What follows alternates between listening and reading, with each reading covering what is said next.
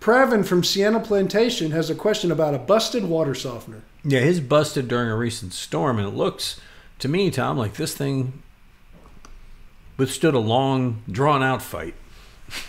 I mean, yeah, this, and I don't think that, it's repairable. No, I don't think so, and that's that's his question. He says, "I feel I can replace the water softener myself. I just need to buy a unit with separate salt tank. The prices range, he says, between 650 and eighteen hundred dollars. I need one with a sixty-eight thousand gallon capacity and no bells and whistles, just a basic unit and tank for the installation outside. What's your recommendation, Tom?"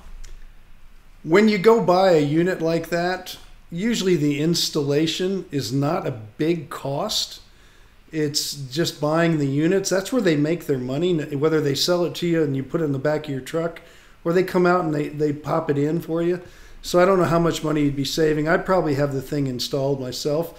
But if you wanted to go buy a new water softener, you got to just uh, cut and, and paste all that plumbing back up to the new one. And you can certainly do it. But I think if it was me, I'd probably just have someone come out and replace it. But if you want to go find one, be careful what you buy. Make sure it's a good quality one because they should last you about 20 years or so. Uh, as far as where it is and the salt tank and everything you have there, that's all fine. You can replace it with a new unit.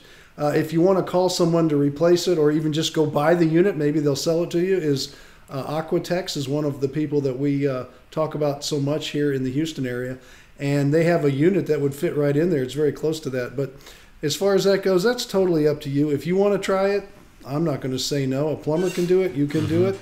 But I think better yet, it's really not a big expense for the install. Usually it's buying the equipment. Right. And I'll tell you, we have one of those Aquatex ones, one of those Kinetico oh, uh, ones, the two tank one like that. And it is, I never realized until the freeze when we went out and covered it and did all the things that that John Ludwig over there at Aquatex told us to do to protect it. Um, by the way, he told me today, he called me today, he said, I need to tell you, Charlie, when I was on the radio, because you remember you were off that weekend, we had people on, he was one yes, of the we had. Yeah. Well, he yes. said, he said that he somebody walked into the store down there in Alvin where they're located and said, I came here to thank you. I listened to you on the radio and I did what you said and my system made it through and my neighbors didn't. Yeah. So he was all he was all nice. excited. So, but th- but that's well, because good. it's a quality piece of equipment, like you say, and that's what you're going to get from yeah. um, Aquatex.